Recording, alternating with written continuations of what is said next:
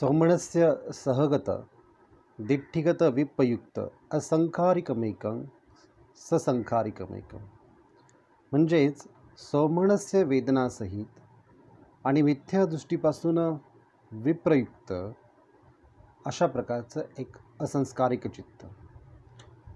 म्हणजे जेव्हा कोणी व्यक्ती विशेष मत आणि कोणत्याही प्रकारची दृष्टी न ठेवता परंतु आपल्या स्वभावगत तीक्ष्णतेने प्रसन्नचित्त होऊन मैथून धर्माचे आचरण करतो किंवा परसंपत्तीची इच्छा करतो किंवा परधन हिसकावून घेतो आणि अशा प्रकारचं कर्म करत असताना दुसऱ्या कोणाची प्रेरणा कारणीभूत ठरत नाही. तर अशा प्रकारच्या मनुष्याचे चित्त हे चतुर्थ अकुशल चित्त म्हणजेच सौमनस्य सहगत दिठ्ठिगत विप्पयुक्त असंखारिक चित्त किंवा असंस्कारिक चित्त असे त्यास म्हटले जातं.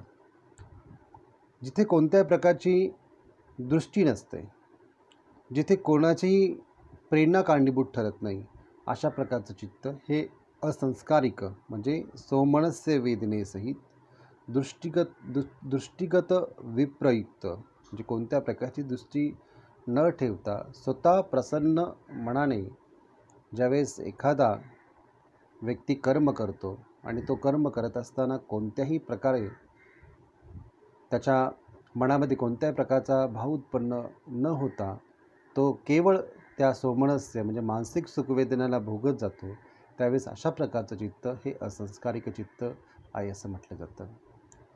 दुसरं सोमनस्य सहगत दिठ्ठिगत विपयुक्त असंखारिक मेकम आणि ससंखारिक मकम या यामध्ये ससंखारिक मेकम म्हणजे सोमनस्य सहगत दिठ्ठिगत विपयुक्त ससंखारिक मेकम म्हणजे सोमनस्य वेदनेसही आणि मिथ्या दृष्टीपासून विप्रयुक्त अशा प्रकारचं ससंस्कारिक चित्त.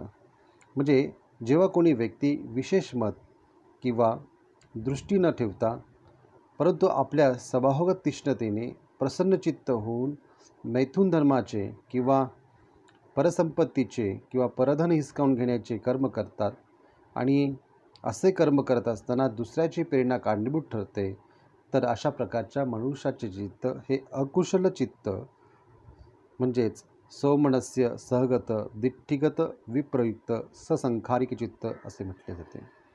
म्हणजे ज्यामध्ये दुसऱ्याची प्रेरणा कारणीभूत ठरत जाते परंतु कोणत्या प्रकारची मिथ्यादृष्टी किंवा कोणत्या प्रकारची दृष्टी न ठेवता केवळ आपल्या मानसिक तीव्रतेने ते भोगण्यासाठी एखादा व्यक्ती त्या प्रकारचं कर्म करत जातो त्यावेळेस अशा प्रकारचं चित्त हे अकुशल चित्त म्हणून संबोधण्यात येतं. हे चौथ्या प्रकारचं अकुशल चित्त जे की सोमनस्य म्हणजे मानसिक सुखवेदनेसह दृष्टीगत विपयुक्त कोणत्याही प्रकारची दृष्टी न ठेवता ससंखारिक चित्त. म्हणजे त्याच्यामध्ये प्रेरणा कारणीभूत ठरते अशा प्रकारचं चित्त म्हटलं जातं. पुढे उपेक्षा सहगत दिठ्ठिगत संपयुक्त असंखारिक मेकम ससंखारिक मेकम म्हणजे उपेक्षा वेदनेसहित आणि मिथ्यादृष्टीयुक्त असंस्कारिक चित्त. की ज्याच्यामध्ये उपेक्षा वेदना आहे आणि उपेक्षा वेदनासहित ज्या ज्यामध्ये आपण या चित्ताचा उपभोग करत असतो. म्हणजे ज्याला असं म्हटलं जातं उपेक्षा याचा अर्थ काय? उपेक्षा याचा अर्थ अलिप्तता. उपेक्षा याचा अर्थ ना अधिक ना कमी या स्वरूपात वेदनेच्या अनुभवण्याच्या क्रियेला उपेक्षा असं म्हटलं जातं. जी काही संवेदना आहे म्हणजे तीन प्रकारच्या वेदना आहेत. सुखद संवेदना सुखद वेदना दुःखद वेदना असुखद वेदना असुखद व अदुःखद वेदना. तर या वेदनेपैकी उपेक्षा वेदना म्हणजे असुखद अदुःखद. म्हणजे नादिक सुख नादिक दुःख या स्वरूपात वेदनेच्या अनुभूतीच्या क्रियेला उपेक्षा असं म्हटलं जातं. तर ही उपेक्षा म्हणजे काय? तर एक एक प्रकारची तंद्रा. म्हणून याचा अर्थ या प्रकारचा आहे जेव्हा कोणी व्यक्ती मत विशेष ठेवून किंवा दृष्टी विशेषणाच्या कारणामुळे परंतु कामभोगामध्ये संपत्ती पाहून सौमनस्य रहित म्हणजे कोणत्याही प्रकारची मानसिक सुखवेदना न उपभोगता केवळ उपेक्षायुक्त चित्तेने चित्त अवस्थेने कामवासनेला भोगतात किंवा दुसऱ्याचे धन लुबाडतात इत्यादी कर्म करतात आणि असे कर्म करताना कोणी दुसऱ्याची प्रेरणा कारणीभूत ठरत नाही.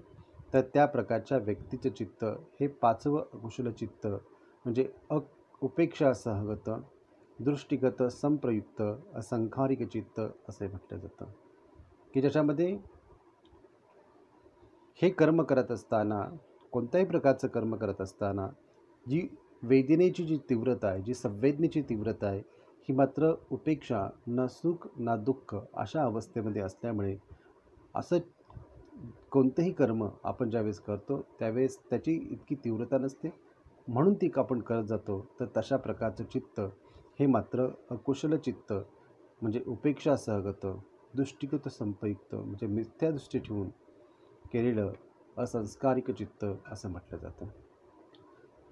तसंच सहावं की उपेक्का सहगत दिठ्ठीगत संपयुक्त ससंखारिकमेकम हे सहावं चित्त आहे. म्हणजे सहावं अकुशल चित्त आहे. की जेव्हा कोणी व्यक्ती मतविशेष किंवा दृष्टीविशेने विशेषणाच्या म्हणजे मिथ्या दृष्टीविशेषणाच्या कारणामुळे कामभोगामध्ये कामभोगामध्ये रमतो किंवा समणस्य वेदना रहित उपेक्षा वेदना युक्त चित्ते चित्त अवस्थेने कामभोगाला भोगतो किंवा दुसऱ्याचे धन लुबाडतो किंवा अशा प्रकारचे कर्म करतो आणि असं कर्म करत असताना दुसऱ्या कोणाची प्रेरणा कारणीभूत ठरते त्यावेळेस अशा व्यक्तीचं चित्त हे सावं अकुशल चित्त असं म्हटलं जातं. म्हणजे उपेक्षा वेदनेसहित दृष्टिगत संपयुक्त असंकारिक चित्त किंवा असंस्कारिक चित्त असं म्हटलं जातं. म्हणून इकडे हे सहा अकुशल चित्त अवस्था आपण पाहिलेल्या आहेत. त्यानंतर दोन चित्त अवस्था आपल्याला पाहिजे आहेत. तर त्या दोन चित्त अवस्था पाहत असताना यामध्ये उपेक्षा सहगत दिठ्ठिगत विपयुक्त असंखारिकमेकम ससंखारिकमेकम म्हणजे उपेश उपेक्षा वेदनासहित मिथ्यादृष्टीवरहित असंस्कारिक चित्त. उपेक्षा वेदनेसहित मिथ्यादृष्टीविरहित ससंकारिक चित्त. म्हणजे पुन्हा तेच की जेव्हा कोणी व्यक्ती मतविशेष किंवा दृष्टीविशेषणाच्या कारणाने नव्हे तर आपल्या स्वयंस्वभावाच्या तीव्रतेमुळे आनंदीरहित होऊन मैथून चोरी इत्यादी कर्म करतो आणि हे कर्म करताना दुसऱ्याची प्रेरणा कारणीभूत ठरते अशा प्रकारच्या मनुष्याचे चित्त हे सातवं अकुशल चित्त म्हणजे उपेक्षा सहगत दृष्टीगत स विप्रयुक्त असंखारिक चित्त असे म्हटले जाते. आणि आठवं जेव्हा कोणी व्यक्ती मतविशेष किंवा दृष्टीविशेषणाच्या कारणामुळे कारणामुळे नव्हे तर आपल्या स्वयंस्वभावाच्या तीव्रतेमुळे आनंदरहित होऊन मैथून चोरी इत्यादी कर्म करतो आणि हे कर्म करत असताना दुसऱ्याची का प्रेरणा कारणीभूत ठरते. तर अशा प्रकारच्या मनुष्याचे चित्त हे अष्टम म्हणजे अठ आठ आठव्या प्रकारचं अकुशल चित्त म्हणून संबोधण्यात येतं. म्हणजे उपेक्षासहगत दृष्टीगत विप्रयुक्त ससंस्कारिक चित्त. तर असे हे चित्ताचे एकूण आठ प्रकार आहेत की ज्याच्यामध्ये अकुशल चित्त किती आहेत? तर आठ आहेत.